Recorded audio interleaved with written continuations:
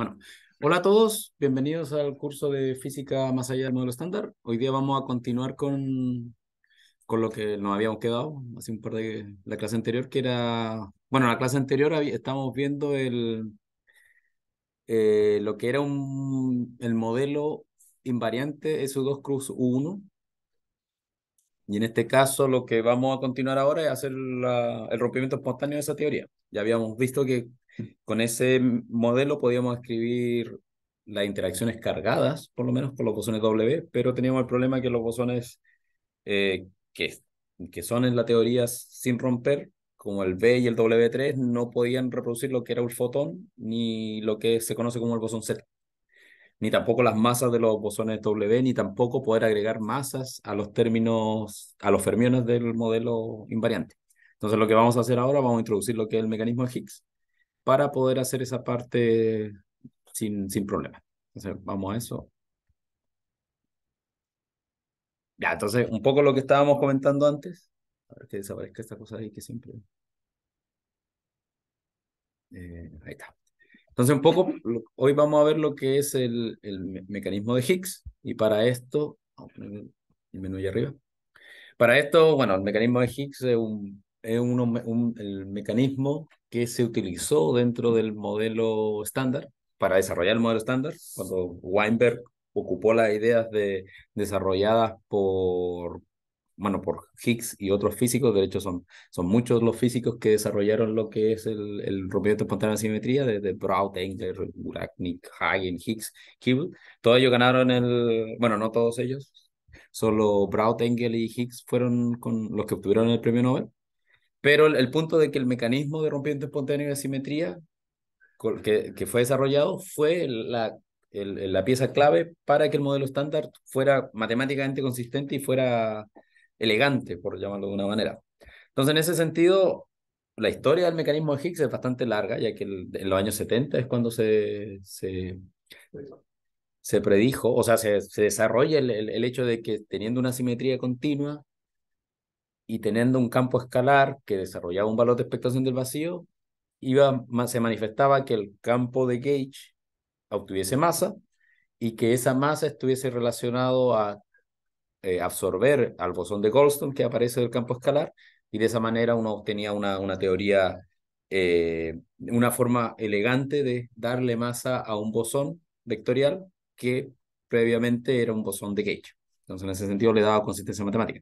Pero esto Después, en el 2012, 2013, es cuando finalmente se logra descubrir, se observa experimentalmente en, la, en el LHC, este es solamente el gráfico de la colaboración Atlas, y en el sentido de que la señal es consistente con lo que se espera que se hubiera manifestado en el, en el contexto del mecanismo de Higgs. Es decir, dentro de todo, la masa del bosón Higgs no era predicha por el modelo, solamente que existía y tenía que estar dentro de un rango de masas, pero finalmente al ser observado para una masa de 125 GeV, que más o menos es la masa que tiene el bosón de Higgs, redondeado con unos puntos, eh, la señal calzaba perfectamente con lo que sale del modelo cuando se desarrolla a esa, con esos parámetros. Bueno, la idea detrás del mecanismo de Higgs. En la gráfica anterior esos puntos son los datos recolectados. Exactamente. Y el, lo rojo y lo background que pone ahí. Claro, eso es lo que uno sabe que lo, lo, lo, las curvas rojas, el, eh, magenta, son básicamente lo que se conoce como background, que son los procesos dentro del modelo estándar que van a producir esa señal que se está buscando. O sea, aquí en este caso, en el gráfico se está viendo, bueno, eventos versus la más invariante de cuatro leptones, ya que la señal que se está registrando en el detector son cuatro leptones. Entonces, ¿qué posibles procesos pueden producir cuatro leptones?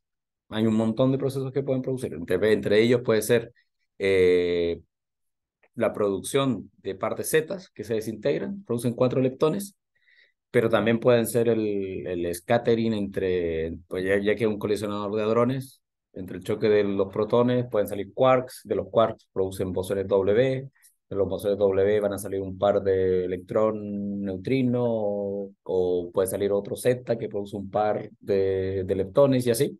Entonces digamos que estos que están acá son señales que vienen simplemente del decaimiento del Z, mientras que la otra, la gris, la magenta, y justo este, el color del, lápiz es lo menos indicado para este caso, voy a cambiar el color. Azul. Entonces, por ejemplo, aquí el, el magenta es básicamente la señal que viene cuando se produce un bosón Z y un jet, asociado con un par de, de top anti-top. Pero la señal, los eventos que están relacionados con el decaimiento de un bosón de Higgs, eh, esto sería la, la, señal esperada y los datos tienen una, una discrep no discrepancia, pero me refiero con respecto al background, se nota que hay puntos que se empiezan a destacar por sobre lo que se espera de forma estándar. Entonces, de esa manera uno puede darse cuenta de que, como yo conozco lo que es el background, o sea, la señal que me va a dar otros procesos de física partícula, y que si el bosón de Higgs no existiese, yo debería esperar que estos puntos no saltasen, se mantuviesen aquí, siguiendo el background. Pero aquí en esta parte, como se empiezan a destacar, era una indicación de que hay una desviación con respecto al background y que esa desviación se vuelve consistente con lo predicho con un bosón de Higgs con una masa de 125 GeV. Entonces, es como el, es un análisis estadístico lo que va detrás y que es muy importante conocer el background. Siempre saber manejar lo que es el background de la señal permite después poder aislar y quedarte con los puntos, destacar los puntos como una evidencia estadística sobre el, sobre el, el plano.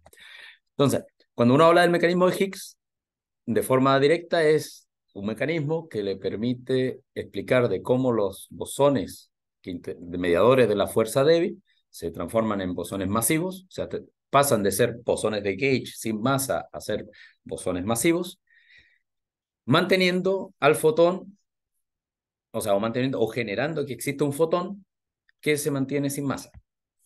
Y además, como punto extra, da una forma, el mismo mecanismo de cómo los fermiones adquieren su, la masa que tienen. Entonces, de esa manera uno tiene básicamente la forma simple de escribir el mecanismo de Higgs es que uno tiene una simetría de gauge, donde uno tiene un lagrangiano completamente invariante ante esas simetrías con los campos eh, de, los, de los fermiones y, su, y los bosones de gauge de esas simetrías.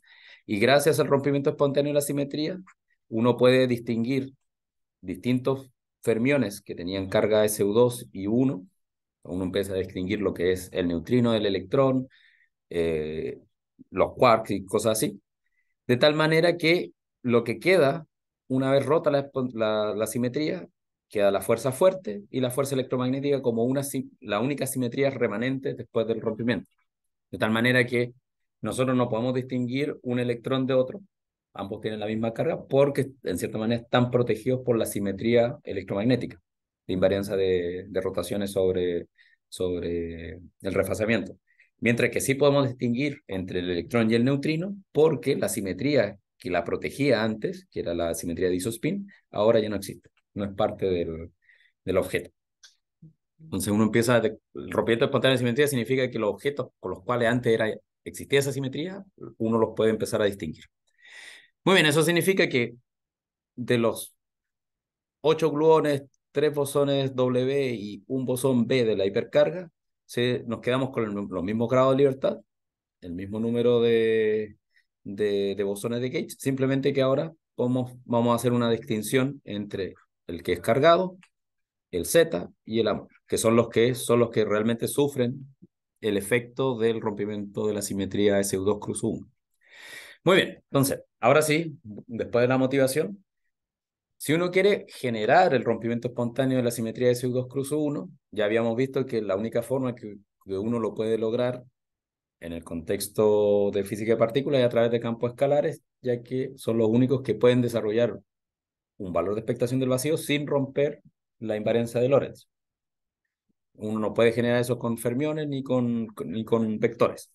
Entonces, si queremos romper la simetría, vamos a necesitar introducir un campo escalar y ese campo escalar va a tener que eh, transformar o tener eh, bueno, cargas con respecto a los grupos de simetría que se quieren romper. En este caso tenemos que introducir un campo escalar que tiene que transformar bajo SU2 y que tiene además que transformar bajo U1 hipercarga. Entonces en este caso de forma genérica vamos a usar un doblete de SU2 que tiene una hipercarga Y genérica. Entonces, el lagrangiano que va a ser invariante, como ya lo hemos visto varias veces, van a ser los términos que dependen de las derivadas covariantes para el campo, para el doblete escalar, y lo que es el potencial escalar, que en este caso ya estamos viendo que al tener el término bilineal, el término que estaba asociado con la masa de signo contrario, inevitablemente este campo escalar va a tener que desarrollar un valor de expectación del vacío porque el mínimo de potencial ya no se encuentra en el centro del, del pozo potencial del, como ocurría antes cuando habíamos visto con los otros casos. Y los otros términos que son los términos cinéticos para los bosones de Gauge de esta teoría. Entonces, simplemente el hecho de tener ese, un doblete SU2 con hipercarga y sabiendo que la naturaleza tiene la carga eléctrica como simetría final, la electromagnética, utilizando la fórmula de Gelman-Nishijima, podemos tener una relación entre cuánto tiene que ser la carga eléctrica que van a tener las componentes de nuestro doblete y que esa relación no puede, nos va a fijar inevitablemente cuánto tiene que valer la hipercarga, ya que sabemos que la carga eléctrica no puede tener números fraccionarios, tiene que ser carga eléctrica múltiplo entero de la carga eléctrica del electrón, en este caso, ya que no es un quark y los quarks son otro, otro, otro cuento. Entonces, en este sentido, eh, estamos obligados a seleccionar dos posibles opciones. Entonces, en ese caso podríamos tener o el caso que usualmente se utiliza es con hipercarga igual a 1, que eso significa que el, la parte del doblete con isospin arriba, o isospin más 1, tiene eh, carga eléctrica positiva, mientras que la parte de abajo de nuestro doblete va a tener carga eléctrica 0. Si nosotros hubiéramos tomado el otro caso, donde tenemos un doblete de SU2, pero con hipercarga igual a menos 1, la fórmula de Gelman-Nishijima, que es I3 más Y, que está ahí. Eh, me faltó partir por 2. Entonces eso nos diría que como es menos 1, la parte de arriba va a ser spin un medio, eh, menos un medio, nos va a dar 0. Y el segundo, el que está abajo, menos un medio, menos un medio, nos va a dar menos 1. Y por lo tanto, este esta construcción nos va a dar un, doblete escalar, que sus componentes serían eh, un phi cero arriba y un phi menos abajo, indicando que el término de abajo tiene eh, carga eléctrica negativa. En la forma que mostraste, entre dos, No, no, estaba en, no, en la, ahí, en la diapo anterior. Ah, me faltó el dividir por dos, perdón. Claro. es la fórmula de Nishijima modificado. Hay varias fórmulas de Nichijima en el sentido de que estos factores a veces se, se los comen, a veces los ponen, o todos partidos por dos, pero lo típico es que partido por dos. Bueno, el... O sea, teníamos, para poder escribir este eh, doblete escalar, tenemos esas opciones. Y más 1, Y menos 1, de tal manera que nos queda un, un escalar que es neutral. ¿Por qué? Porque es en el sector donde queremos realizar el rompimiento espontáneo. O sea, nuestro, nosotros vamos a requerir que nuestro escalar, la parte neutral, sea la parte que desarrolle su valor de expectación. ¿Eso es por qué? Porque si la parte cargada desarrolla un valor de expectación, lo que estaríamos rompiendo eventualmente va a ser que el electromagnetismo tampoco es una simetría del, del modelo. Entonces aquí, si el VEP solo ocurre en el sector neutral, no va a afectar al electromagnetismo. Sabiendo que ya la fórmula de Higgs no está relacionando la carga eléctrica con la hipercarga y con el isospin. Bien, entonces, en, este, en, este, en esta descripción de doblete escalar con carga, va a tener su parte cargada, que cuando lo expandimos en torno al VEP, vamos a tener la parte cargada que va a ser un campo escalar complejo, y la parte real va a tener un campo escalar real, que va a ser lo que nosotros llamaremos el campo de Higgs, y otra parte que es pseudoescalar, que eventualmente la parte cargada y la pseudoescalar se van a transformar en los bosones de Goldstone de la teoría. Pero por el momento no sabemos, solamente sabemos que vamos a asumir de que existe un valor de expectación y esta va a ser nuestra parametrización del nuevo, del doblete en esa base, en torno al valor de expectación. Bien, sabiendo eso, y sabiendo cómo funciona el potencial escalar, lo primero que hay que hacer encontrar el nuevo vacío, encontrarlo de la forma que sea matemáticamente consistente, y para eso uno tiene que resolver lo que son las ecuaciones de Tadpole, que son básicamente las derivadas de nuestro potencial con respecto a todos los campos del modelo, y no, nos va a eso implicar que va a haber una relación entre el término mu cuadrado con el valor del acoplamiento y del valor de expectación del vacío que desarrolla nuestro campo. O sea, tenemos ese valor de expectación va a estar relacionado con ese término del potencial y con ese parámetro del potencial. De tal manera que si resolvemos la ecuación de TAT, porque quiere decir que todos nuestros términos, nuestras ecuaciones sean igual a cero, esta relación va a implicar que las vamos a reemplazar en nuestro potencial y vamos a obtener lo que sería el potencial escrito en la base donde el vacío está bien definido. En esa base vamos a poder encontrar las masas de nuestras partículas o las masas de nuestros campos escalares a través de las segundas derivadas. Y en este caso, la matriz de masa del sector escalar eh, van a ser solamente términos iguales a cero, todos los términos. O sea, en realidad de 4 por 4, me faltaron términos, muchos ceros. Y el único término que no va a ser cero va a ser el término que es la segunda derivada sobre el campo H, sobre el campo de Higgs. Lo que nos va a indicar cuánto vale la masa del Higgs y va a poner una restricción de que el parámetro lambda tiene que ser mayor que cero para que esta masa tenga sentido. Y en parte lo que está pasando es que nos está diciendo que nuestro potencial es acotado por abajo cuando lambda es igual a cero. O sea, lo típico que el potencial va a ser una cosa así. Y si lambda tiene que ser mayor que cero porque queremos que esto que esté aquí sea el mínimo del potencial. Bueno, todos estos van a ser un mínimo, pero circular. Eh, porque va a sobrevivir una simetría 1. Entonces, bueno, de esta parte tenemos lo que es el bosón de Higgs, con su masa ahora definida en términos del parámetro lambda y del valor de expectación del vacío.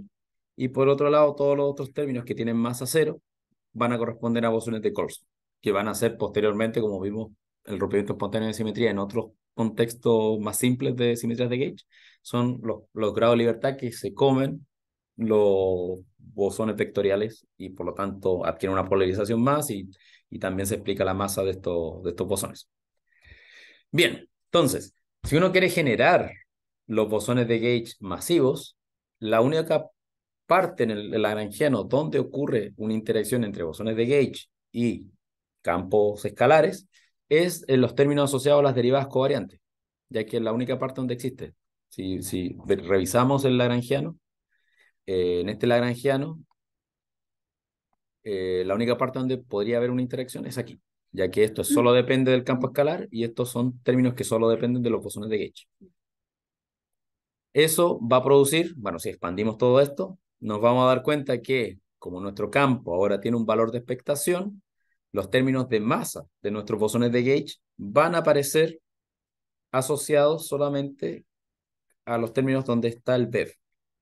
Entonces, básicamente agarramos esto, lo reemplazamos acá y empezamos a expandir y nos vamos a dar cuenta que, eh, por un lado, la derivada covariante que nos va a dar una columna va a, va a tener esta forma, IBS por partido por 2, raíz de 2, etcétera, el valor de expectación, y va a estar acoplado al bosón W y a los bosones B y W3. Eso es porque, si se acuerdan, la derivada covariante para, un, para este caso tiene esta pinta, es una matriz de 2 por 2 y al estar multiplicada por un vector columna, nos da esto que está acá, donde la única parte que sobrevive de la multiplicación matricial es el término de abajo y por lo tanto son los segundos términos, o sea, para este, este término viene de la multiplicación de S con el VEV y el segundo término está asociado con este, con el VEV, ya que son los términos que sobreviven.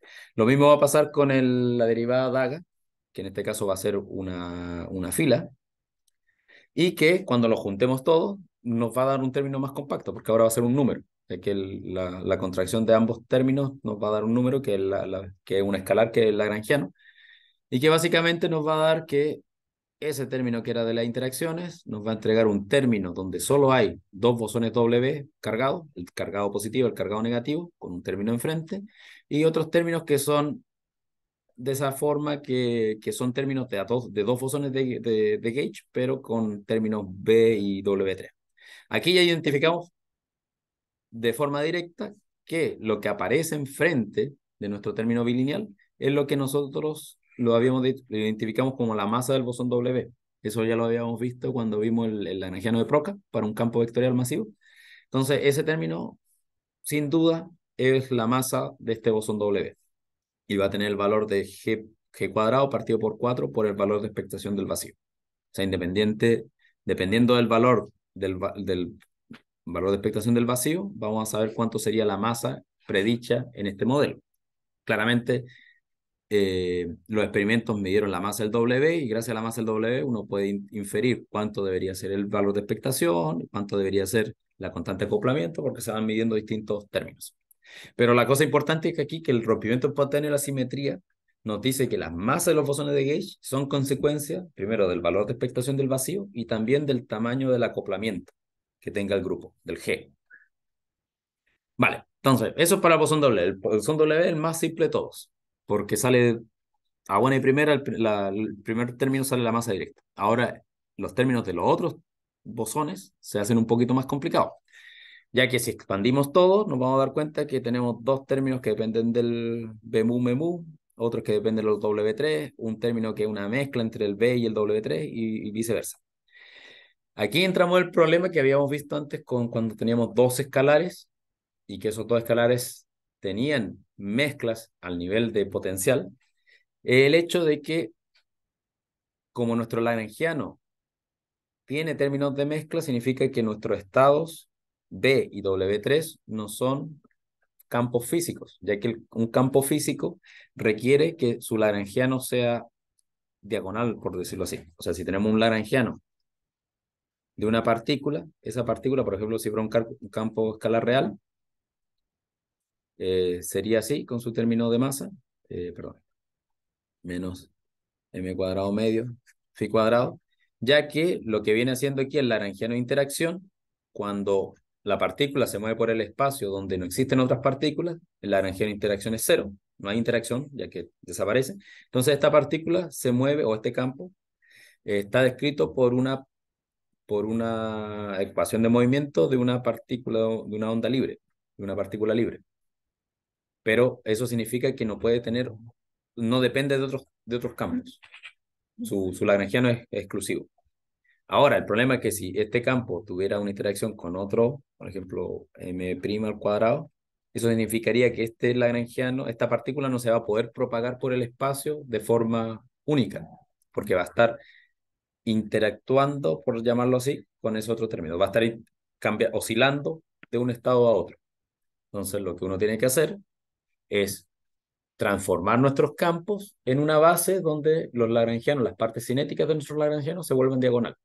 Donde sea simplemente que el lagrangiano físico es básicamente una suma del lagrangiano de la partícula 1 más el lagrangiano de la partícula 2 más cuando, en el caso cuando no hay interacciones. Se transforman en n, o en este caso dos lagrangianos, cada uno para una partícula distinta. Y eso es lo que pasa acá con los bosones de Gauge B y W3. Ellos están escritos en una forma que están mezclados.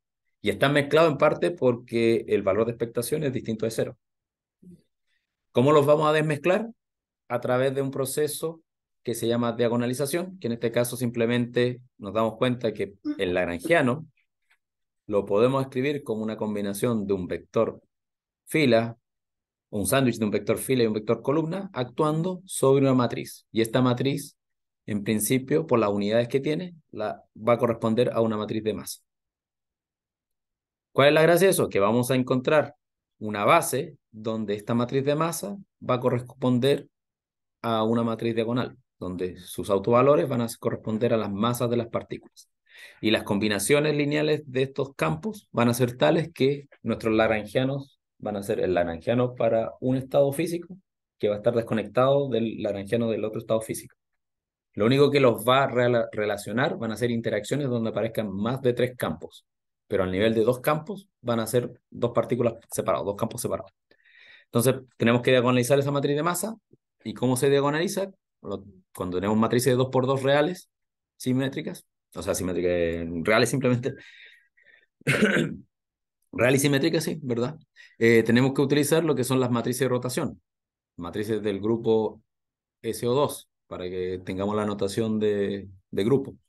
La forma más sencilla es simplemente una matriz que es coseno, coseno menos seno, seno y coseno, de tal manera que nuestros estados de base, o en la base de gauge, como se, se le llama, van a ser una combinación lineal de otros dos estados que son los estados que nacen de la diagonalización. De tal manera que si esta matriz de rotación actúa sobre la matriz de masa, que está escrita en la base de gauge, donde los bosones B y W3 tienen sentido en el contexto de simetría de gauge, vamos a obtener que esta combinación lineal de campos nos va a entregar una nueva matriz de masa donde en un término tenemos la masa que va a estar asociado con el primer estado y otra donde va a estar asociado con el segundo estado. Entonces, eso es el proceso de diagonalización. Y de esa manera, nuestro lagrangiano es una combinación, o sea, el lagrangiano libre de un, del bosón A y el lagrangiano libre del bosón Z. ¿Siempre se hace eso, diagonalizar? Sí, porque necesitas que tus partículas se muevan libres por el espacio, cuando no hay interacción. Ya, pero, o sea, cuando pusiste el ejemplo, uh pusiste para la parte cinética, ¿no? Pero en, este, pero en, esta parte la combinación es, en, o sea, no son, no son, no son, no son términos cinéticos, el B y el W, como tal, o sea, ahí. Claro.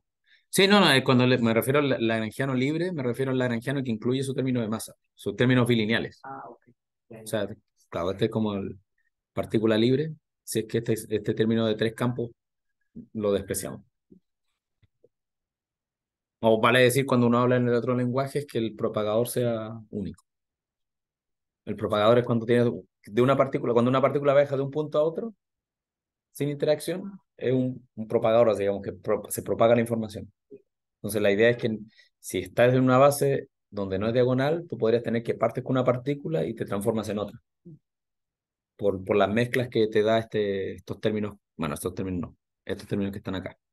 O sea, uno lo puede, puedes pensar que esto tú partes con un B y se transforma en un W3. Pero en esta otra base, al ser diagonal, yo voy a partir con una mu y el amu no va a poder cambiar en z, siempre va a ser amu. Y va a seguir siendo amu y va a seguir siendo amu por siempre. Y el z va a seguir siendo z, z, z. Eventualmente el, el, el estas partículas son inestables, etcétera, etcétera, pero si uno lo mira desde el punto de vista matemático estricto, es que significa que ese estado se va a mantener siendo un estado puro. Entonces, si resolvemos esta diagonalización, lo que vamos a lograr es que si agarramos nuestro sándwich de matrices de rotación y la actuamos sobre nuestra matriz de masa, que depende solamente de los acoplamientos de gauge y del valor de expectación del vacío como una escala global, eh, lo que vamos a encontrar para que nos dé esta condición es que, primero que nada, los ángulos de la matriz de rotación dependen exclusivamente de, los acoplamientos de gauge, donde el parámetro θ se conoce como el ángulo de Weinberg, y que ese ángulo de Weinberg eh, nos está diciendo básicamente que la tangente del ángulo de Weinberg es, la razón entre G', que es la constante de, de gauge del U1 de hipercarga, partido por G, que es la constante de gauge, el acoplamiento de gauge del grupo SU2. Entonces, si uno mide el ángulo de Weinberg o si mide G, G', etcétera, etcétera, va a poder ir encontrando la predicción del modelo. ¿Qué más? Al, ocupar esa diagonalización, porque simplemente estamos agarrando esa matriz y diagonalizándola, vamos a encontrar los valores asociados a estos términos de masa. Y, en, y si hacemos eso, nos damos cuenta de que el valor, la masa asociado al estado A es cero, mientras que el valor de la masa del estado Z depende como un cuarto G cuadrado más G' por el valor de expectación del vacío. Entonces, esto era una manera de decir, encontramos primero la masa para el bosón Z, encontramos la masa para el bosón W, y encontramos la masa para el estado A, pero todavía no sabemos si el A es el fotón y si el Z es el bosón Z que se mide en el experimento y si el W es el W del experimento. O sea, simplemente encontramos que hay un, un estado que tiene masa cero y que al desarrollar el álgebra con más calma, uno se da cuenta que existe, aparece otra simetría U1, que es la que uno más posteriormente, uno la, ya sabe que es la electromagnetismo, pero hasta este punto solamente uno rompió SU2 cruzó 1 y obtuvo tres bosones de gauge, o sea, tres bosones masivos, más uno sin masa, que va a tener una simetría U1, pero que no necesariamente tiene que ser la electromagnetismo, a este punto. Bueno, en resumen, ¿Qué es lo importante? Tenemos nuestros bosones de gauge, todos masivos los que tienen que ser masivos y el otro que no es masivo. Pero una de las cosas importantes del mecanismo es que tenemos una relación directa entre la masa del Z y la masa del W, donde nos dice que la masa del W va a ser el coseno de, de Weinberg, del ángulo de Weinberg, por la masa del Z. La masa del Z se mide, vale 91,18 gigaelectronvolts. La masa del W se ha medido y uno puede sacar una información sobre el coseno de Weinberg a través de del, del ratio entre las dos masas. Y lo bueno es que coseno, sea como sea el coseno de Weinberg, no puede ser mayor que 1. Entonces ya eso, eso está diciendo de que el W y el Z tienen que estar dentro del, o sea, si este hubiera sido 10 veces más grande que el Z, eh, ya es una indicación de que el mecanismo no funciona. Pero aquí, al estar cerquita, ya está dando una información. Básicamente la información es que el coseno de Weinberg tiene más o menos, son como 28 grados o el coseno de Weinberg 0.88. ¿Qué otra cosa importante? Eh, que esto, esto un poco solamente para contarles, si uno, como tiene el laranjiano que depende de esos términos, ya tenemos las masas, tenemos la masa del W y del, del W y del Z, todavía nos quedan los términos cinéticos y los términos cinéticos uno los podría, los quisiera escribir en la base de masa de nuestros bosones, en el A, el Z, el W, el W. Esos términos que están ahí son gigantes si uno los expande. Lo bueno es que si, ustedes se dan el, trabajo usando matemática o el sistema que quieran de hacer el cálculo explícito, lo que van a encontrar es que el lagrangiano final, en términos de estos bosones, va a ser uno, que él va a ser el F mu que va a ser la combinación con el AMU del electromagnetismo, que nosotros pensamos que puede ser el electromagnetismo.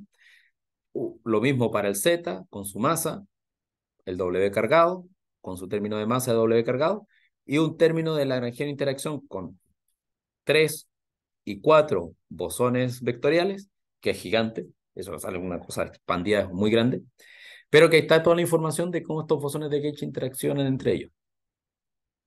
Eso es tarea, eso no lo, porque si no, no terminamos nunca. Entonces, ahora para darle sentido al mecanismo de Higgs, eh, nos vamos a centrar en las interacciones con los leptones, ya que si queremos pensar de que queremos, vamos a obtener electromagnetismo, nosotros necesitamos que nuestros campos, que son el electrón, interaccione con este campo que pensamos que es el fotón. Porque si no interacciona de la manera como sabemos que debe interaccionar el fotón, eh, no, no lo podemos asociar a que estamos encontrando la, el electromagnetismo.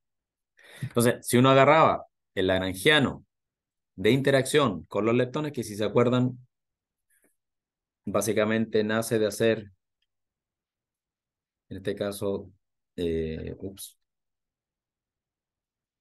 en agarrar los términos, que sería el I gamma mu de mu left para el, left, y lo mismo para los campos right-handed, en este caso solamente el electrón right-handed, y gamma mu por la derivada right del electrón right-handed, eso se transforma en lo que está acá, expandido. Aquí esto lo que está dentro son las distintas derivadas covariantes para el doblete leptónico, que son esos dos, y el electrón right-handed que anda dando vueltas solo, y los términos que vienen de los términos fuera de la diagonal de nuestra derivada covariante cuando es de un doblete, que lo teníamos acá, lo había escrito, que son con los términos W más W menos. Esos son los que no, no interaccionan el neutrino con el electrón. Muy bien, entonces, al hacer eso, que es lo que queremos, la pregunta es, si yo ya sé cómo puedo escribir mi bosón B y mi bosón W en términos de AMU y ZMU, ¿qué es lo que voy a obtener acá? O sea, esto está escrito en, en términos de los bosones de gauge originales, pero yo tengo nuevos bosones de gauge que son combinaciones lineales de esto. Si hago el cambio, debido a que nosotros conocemos la matriz de rotación, que nos mezcla los estados, perdón, aquí, yo ahora conozco cuánto valen los cosenos de, y senos de Weinberg, simplemente hago la multiplicación y veo cuánto tiene que valer el V y el W3, lo reemplazo en, mi, en, la, en la fórmula que estaba viendo la derivada covariante. Y al hacer ese reemplazo, primero, si nos, si nos enfocamos solo en las partes que dependen del electrón, vamos a encontrar la, la, lo que estábamos diciendo, la derivada en términos de V y W3, y, para el electrón radiante, que solo depende de, como es un singlete de, de CU2, solo depende del término de B, del bosón B, y al hacer el reemplazo, lo que vamos a encontrar es este nuevo lagrangiano. Al haber intercambiado todos los B por AZ y los W3 por AZ correspondientes, vamos a encontrar un lagrangiano que tiene esa pinta, donde este campo phi phi de E es el electrón left-handed más el electrón right-handed por los proyectores de quiralidad, o sea, es el, el, el spinor de cuatro componentes. Y los otros términos que son términos que dependen de Z, interacciones con Z. Entonces aquí estamos viendo primero que el electrón left-handed interacciona con el Z de una forma, mientras que el electrón right-handed interacciona con el Z de otra forma, donde los acoplamientos tienen formas distintas, indicando un poco lo que nos decía el experimento de, de Wu, que las partes left-handed y right-handed de un, de un leptón se comportan distintas ante la fuerza débil. Pero esta otra parte que está acá, la que interacciona con nuestro campo AMU, es la que nosotros nos va a dar el, sustento para decir que el mecanismo de Higgs funciona en, el, en, este modelo de CO2 cruz 1. Que en este caso, si agarramos solamente la parte que depende del fotón, o no, del AMU, nos damos cuenta que si esto lo escribiésemos en QED, sería, sería exactamente más I, Q, AMU, Fi, E. Identificando, bueno, aquí con un signo menos, identificando que la carga eléctrica está relacionada con ese término que está acá. Entonces, si decimos que la carga eléctrica del electrón corresponde a G' por coseno de Weinberg, entonces hemos identificado que esa partícula que está aquí es el fotón. De esa manera, partimos de una teoría de CO2 cruz 1 se rompió espontáneamente y ya analizando que el electrón tiene carga eléctrica, la carga del electrón, identificamos que tenemos que, tiene que haber una relación entre el G' y el coseno Weinberg de tal manera que corresponda a la carga eléctrica del electrón y así recién podemos decir que el AMU, que es el campo que no tiene masa, es el fotón. Antes podía ser un campo vectorial cualquiera sin masa, pero que no lo podíamos identificar con el fotón a buena y primera. La primera es una curiosidad, ¿por qué colocas como que el, naranja no está incluido y no, igual en la anterior diapositiva anterior? Ahí, por eso como que todo eso está incluido. Entonces no es igual exactamente. Sí, es que es, que sí, está incluido porque, eh, de, de, hecho, si uno parte con el modelo largo, claro, faltan muchos términos acá. Uno va como haciendo zoom en las partes, o sea, falta, sería ese lagrangiano más los términos de, de L, más los términos de E, y etcétera, etcétera, etcétera. Entonces, como estamos haciendo como zoom en las distintas partes, un poco porque en la, la clase anterior ya habíamos visto esos términos un poquito más al detalle. Y, la otra es, este, hay el electrón derecho, es como un singleto, ¿no? sí. Y, o sea, no, o sea, ¿podrías añadir la parte derecha también en neutrino? Sí, pero el, punto es que el neutrino, al ser derecho, ¿dónde vamos? Vamos a la fórmula, bueno, no necesito ir a la fórmula de Gelman-Nishijima. La gracia del, del neutrino derecho, o la, o la desgracia del neutrino derecho, es que como tienen la fórmula de Gelman-Nishijima, que I3 partido por 2 más hipercarga partido por 2, ¿ya? Eh, el, electro, el neutrino left-handed, al ser parte del doblete, tiene una hipercarga asociada, un isospin asociado, perdón, y hipercarga por, para que te dé que este es el electrón y el otro que te dé que no tiene carga eléctrica. Pero el neutrino right-handed, al ser un singlete de SU2, su término de tu fórmula de Gelman-Nishijima sería directamente hipercarga partido por 2. Y al saber que el neutrino es, es neutral, te, te diría que básicamente el neutrino right-handed no interacciona ni con SU2 ni con U1. Sería un completo simple, un fermión solito dando vuelta por el mundo. O sea, el lagrangiano del neutrino right-handed, por llamarlo así, sería neutrino right-handed y eh, gamma mu eh,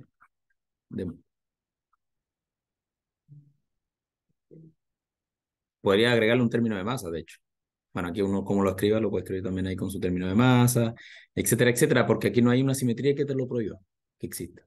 O sea, tú puedes agregar el término de masa aquí muy bien. Prefiero un término como que va como trivial. Claro, claro. El punto es que al hacer eso va a implicar de que vas a tener que agregar otros términos relacionándolos con el neutrino left con el doblete leptónico.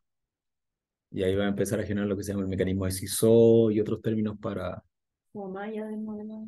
Maya del modelo estándar. El modelo estándar no incluye el neutrino right-handed porque la evidencia hasta ese momento, los neutrinos tenían, no tenían masa y con neutrino solamente te bastaba tener el left-handed. Si metía el right-handed era más complicado porque después tenías por qué tiene una masa y cuál es el valor de esa masa, mientras que el mecanismo de Higgs, con la estructura que tiene el modelo estándar, eh, explica todas las masas como interacciones con el campo de Higgs. pero, pero cuando mostraste el, problema que tiene el, neutrino right-handed, o sea, ese problema es para cualquier right-handed que sea singleton, no, es discusión del claro, Claro. Pero, pero hay a electrón si lo agregas. Right-handed electrón en, el, en, la región. Sí, porque él sí necesita interacción de hipercarga. Ah, ah, o sea, porque la derivada covariante para el electrón right-handed, que ya se me, se me perdió el electrón right-handed, tiene tiene, tiene claro, el otro, el otro, para el neutrino right, eh, left-handed, eh, right-handed, este término no existiría. Mm, Sería solo una derivada y ya. Más los otros términos del lagrangiano que uno va a poder agregar porque no es un singlete de vive ahí solito en su interacciones con el mismo solamente desde el punto de vista de, de interacciones de gauge. Se puede acoplar al neutrino y otras cosas, pero, pero eso lo vamos a ver cuando generemos la masa de los leptones. Bien, entonces, haber identificado la carga eléctrica con la combinación G' y coseno de Weinberg no, ya nos da el poder de decir que es el electrón, que el AMU es el fotón. Ahora, si uno se enfoca en el neutrino, partimos de nuevo de su derivada covariante del neutrino left-handed y lo que obtenemos es que solamente, y eh, también es consistente en ese sentido, de que el neutrino solo interacciona con el bosón Z y no interacciona con el fotón que tiene sentido porque el neutrino, al ser una partícula neutral, no tiene forma de interaccionar con el fotón, dándole también más consistencia a lo que ya conocíamos.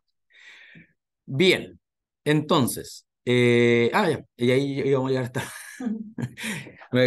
Pensaba que iba a seguir con, lo, con, con la otra parte. Tarea. Para el que no está, para el que, más allá de, más allá de Valparaíso, la tarea. No, pero la, la, tarea de esto es una forma muy interesante para que vean qué significa que el mecanismo de Higgs tenga que romperse en el sector neutral. Es asumir, ver qué pasa si en vez de tener el valor de expectación en la parte neutral, la tengo en la parte cargada. Y analizar el, el, cómo afecta a los bosones de Gauge y cómo afecta a la estructura del, del lagrangiano. Simplemente es rehacer el cálculo, pero ahora con, perdón, resolviendo la ecuación de Tadpole, claramente, y viendo cómo afecta tener ahora un B en este sector y cómo afecta a los bosones B y W, que debería dar que no, no, no tiene fotón, porque rompiste, se rompió la, la simetría 1 del, del, del modelo. Eso. Entonces, esa es la. Voy a dejar volver a la tarea. Ups. Esa que está. Ya si tienen dudas, preguntas, las vamos respondiendo ahora, pero vamos a parar la grabación hasta acá.